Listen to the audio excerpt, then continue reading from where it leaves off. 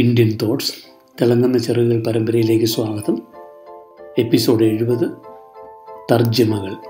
ഞാൻ ജോസഫ് മറ്റപ്പള്ളി.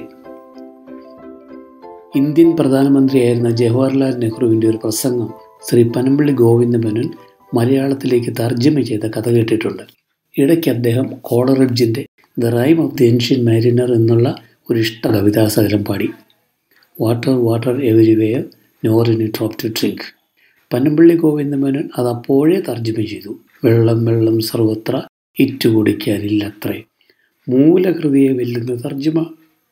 മറ്റൊരു തർജമയുടെ കഥ കേട്ടിട്ടുള്ളത് ചങ്ങമ്പുഴയുടെ വാഴക്കുലയുമായി ബന്ധപ്പെട്ടാണ്. ഒരു കാലത്ത് ഈ കവിത സർവ മലയാളിയുടെയും ചുണ്ടുകളിലുണ്ടായിരുന്നു.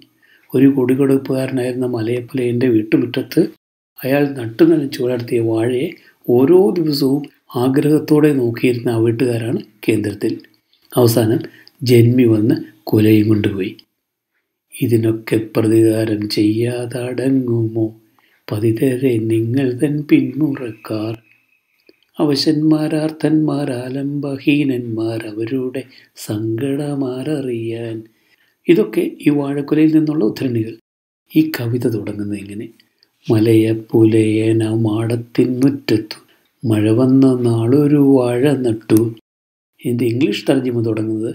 മലയ ദിപ്പുലയ in front office little hut planted a plant in rainy season ഒരു തെറ്റും പറയാനില്ല. അതേ ട്യൂണിൽ പാടാനും പക്ഷെ പക്ഷേ ഈ ഇംഗ്ലീഷ് തർജമെന്നത് മാംസവും രക്തവും ഹൃദയവും ഞരമ്പുകളും ഒന്നുമില്ലാത്ത ഒരു കൈക്രി എന്നല്ലാതെ എന്ത് പറയാൻ? ലോകത്ത് ജീവിച്ചിരുന്ന മഹത്തുക്കൾ ആരും തങ്ങളുടെ ഉപദേശങ്ങൾ എഴുതി വെക്കാൻ ആഗ്രഹിച്ചിരുന്നവരല്ല. ബുദ്ധന്റെ കാലത്ത് എഴുത്ത് തന്നെ സാധാരണയായിരുന്നുമില്ല. യേശുവിന്റെ കാലത്തെ സ്ഥിതിയും ഏറെ വിഭിന്നമായിരുന്നില്ല. ഇതിഹാസങ്ങൾ എഴുതപ്പെട്ടത് ആർക്കു വേണ്ടി?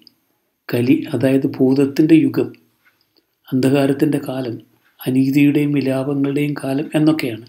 ഇവിടെ ആർക്കും ഒരു തത്വവും മനസ്സിലാകാൻ പോകുന്നില്ല. ബൈബിൾ എഴുതപ്പെട്ടതും ധർമ്മതത്വങ്ങൾ എഴുതപ്പെട്ടതുമെല്ലാം കലിയുഗവും കഴിഞ്ഞെത്തുന്ന വെളിവിന്റെ ഒരു കാലഘട്ടത്തിലേക്കാണെന്നാണ് പൊതുവെ പറയപ്പെടുന്നത്. അതിൽ കാര്യമില്ലാതില്ല. മതങ്ങൾക്കുള്ളിൽ വ്യാപകമായി കാണപ്പെടുന്ന സംഘർഷം ഇതുതന്നെയാണ് സൂചിപ്പിക്കുന്നത്.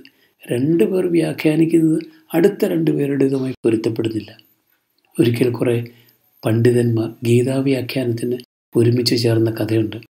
എല്ലാവരും ജ്ഞാനികളായ ബ്രാഹ്മണർ. സ്വന്തം രഥങ്ങളിൽ അവർ വന്നു. എല്ലാം കഴിഞ്ഞ് മടങ്ങിയപ്പോൾ ഒരു തേരാളി രഥത്തിലിരുന്ന് കരയുന്നു. അയാളോടൊപ്പം വന്ന ബ്രാഹ്മണൻ ചോദിച്ചു എന്താ കരയുന്നതെന്ന്? തേരാളി പറഞ്ഞു ഇത്ര നേരവും ഒരു തേരാളിയും പോരാളിയും തമ്മിലുള്ള വാഗ്വാദം ഞാൻ കേട്ടിരിക്കുകയായിരുന്നു. എന്റെ തേരിന്റെ അടുത്തായിരുന്നു അവരുടെ തേരും. തേരാളിയെ കണ്ടാൽ രാജാവിനെ പോലെ ഇരിക്കുമായിരുന്നു. അയാൾ കർമ്മത്തെപ്പറ്റിയും ധർമ്മയെപ്പറ്റിയും പറഞ്ഞത് മുഴുവൻ കേട്ടാൽ ആരും കരഞ്ഞു പോകുമായിരുന്നു. ഒരക്ഷരമുണ്ടായ ബ്രാഹ്മണൻ അവിടെ നിന്ന് പോയി. ഭഗവാൻ തർക്കശാലയിലേക്ക് വന്നിരുന്നില്ലെന്ന് അപ്പോഴാണ് അയാൾക്ക് മനസ്സിലായത്. ബൈബിൾ പറയുന്നത് കേൾക്കുക. നീ ഇത് ജ്ഞാനികൾക്കും വിവേകികൾക്കും മറിച്ച് ശിശുക്കൾക്ക് വെളിപ്പെടുത്തിയതുകൊണ്ട് ഞാൻ നിന്നെ വാഴ്ത്തുന്നു. എല്ലാ തത്വങ്ങളുടെയും സ്ഥിതി ഇതാണ്. രാഷ്ട്ര നിയമങ്ങൾക്കും ഈ തർജമ പ്രശ്നമുണ്ട്. ഹൃദയങ്ങൾ കൊണ്ട് കേൾക്കാൻ ആഗ്രഹിക്കുന്നവർക്ക് വേണ്ടി യാതൊന്നും എഴുതിയോ വരച്ചോ സൂക്ഷിക്കേണ്ടതില്ല. അനേകർക്ക് ഗുരുവായിരുന്ന സോക്രട്ടീസ് ഒരക്ഷരം പോലും എഴുതി സൂക്ഷിച്ചില്ല. എഴുതിയത് വായിക്കുമ്പോഴാണെങ്കിലും അക്ഷരങ്ങൾക്കും അപ്പുറമുള്ളതാണ് അവർ ഗ്രഹിക്കുക. അവർക്കാർക്കും അതിബുദ്ധിയും ആവശ്യമില്ല. ഗുരുക്കന്മാർക്ക് മരണമില്ലാത്തതുകൊണ്ട് അവരോട് നേരിട്ട് സംവദിക്കാനും അത്തരക്കാർക്ക് എളുപ്പം. അവർ സംവദിക്കുന്നത് ഭാഷ കൊണ്ടുമല്ലല്ലോ. ബുദ്ധനും കൃഷ്ണനും യേശുവും ഒക്കെ എന്നും ജീവിക്കുന്നു എന്ന് പറയുന്ന കാര്യമില്ലാതില്ല. പരിണാമത്തിന് തലയല്ല ഹൃദയമാണ് ആവശ്യം. ജൈനമതത്തിന്റെ മൂന്ന് രത്നങ്ങൾ ശ്രദ്ധിക്കുക.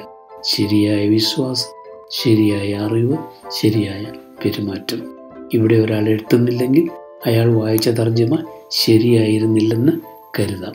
ഗ്രൂപ്പ് ഏതായിരുന്നാലും നന്ദി വീണ്ടും കാണാം.